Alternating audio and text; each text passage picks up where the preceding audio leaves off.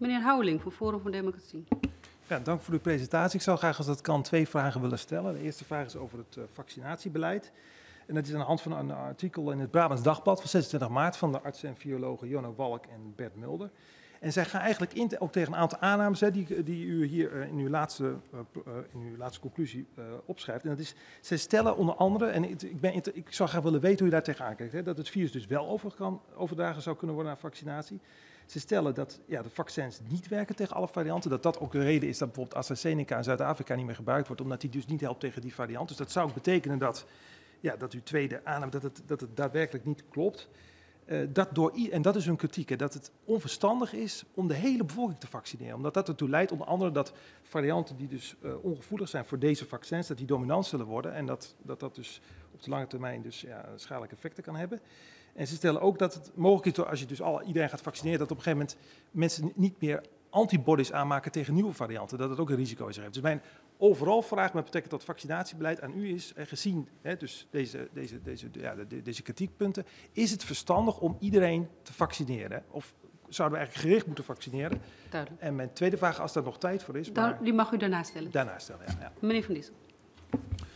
Nou ja, we hebben nog niet de luxe om over deze vraag in detail na te kunnen denken. Want we proberen eerst de, de kwetsbaar te vaccineren. Uh, kijk, vanuit ja. evolutiebiologie, want daar citeert u eigenlijk uit, kan je natuurlijk uh, kan je een heleboel in theorie um, opbrengen. Um, ik wil wel benadrukken dat um, vaccinaties niet alleen leiden tot antistoffen. Hè. En antistoffen is niet het enig zaligmakende met betrekking tot de afweer. Uh, sterker nog, uh, de meeste personen zullen al hun uh, COVID-infectie hebben weggewerkt tegen de tijd dat er nog helemaal nog geen antistoffen zijn. Hè, wat maar aantoont dat er nog onderdelen zijn van het afweerapparaat, zoals het cellulaire deel, wat ook van belang is. Er zijn bijvoorbeeld patiënten die geen antistoffen aanmaken, een bepaalde groep personen met een aangeboren afweerstoornis, die uh, uitstekend deze infectie uh, doormaken zonder problemen.